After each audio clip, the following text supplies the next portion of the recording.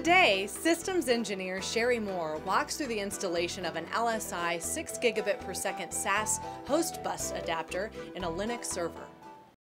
Today I'm going to be demonstrating installation of one of our 6 gig SAS HBAs into a Linux um, server. Right here I have a 9211-4i HBA that has a by 4 SAS port. So it plugs into a, a PCI Express slot. In this system, we have a few PCI Express slots, a by 8 and a by 4. We will connect the mini SAS connection to the board. And on the other end, we can connect to an internal backplane in this system that contains uh, four drives. As the system's booting, you'll see the LSI boot banner, and you can see that there are several drives um, displayed that are attached. We'll continue to boot. This system's booting the Linux Red Hat version 5.2. Now that our Linux server is booted, we um, go to the lsi.com website to the support and downloads page and come down here to public downloads. We can search. We know we have a 9211 4i board.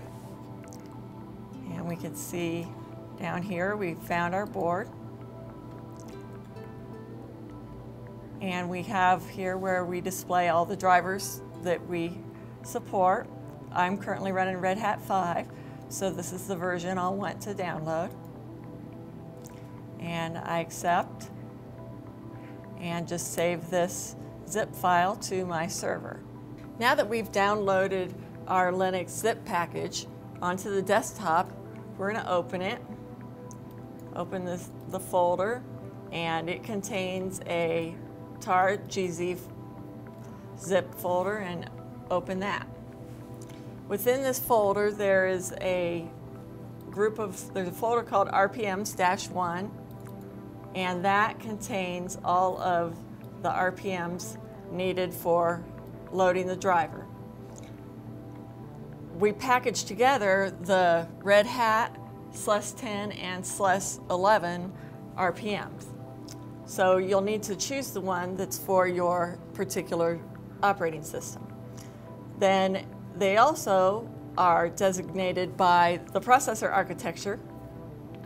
And in my case, I have an x86 64-bit system. So, and here's the Red Hat, so that's the one that I would choose. You'll find the right processor and operating system for your system. After selecting the RPM for your particular system and operating system, you'll extract it I'll choose to extract it to Other and File System, User Folder, Source Folder, and Extract. Now we'll open a terminal and change directories to that user source directory. We can do a ls and see that we have our RPM here for Red Hat 5 x86-64. And we can also see whether there's been a driver already installed on this system. We can see the version of this driver is 4.0.01.00. The mod info space MP, MPT2 SAS command will display whether that driver, our driver has been installed in this system and we can see it has not. Um, now we can run the RPM dash capital U VH and then the MPT we're going to use our our RPM tab complete or copy to put that RPM there.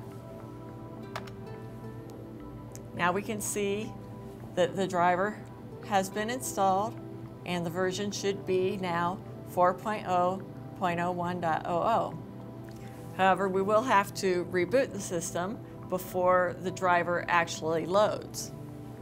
So we can simply type reboot.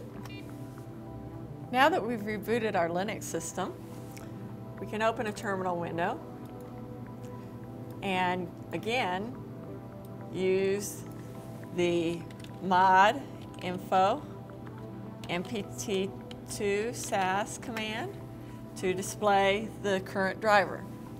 And we can see indeed that we do have the new driver loaded. Then after that we can run fdisk-l to display all the drives. We can see the SDA 1 and 2, which are Linux boot drives, which were already in the system.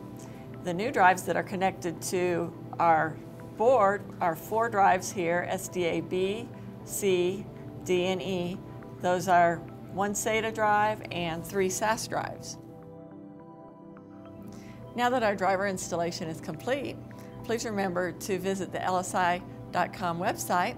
Remember to check for new product offerings and software.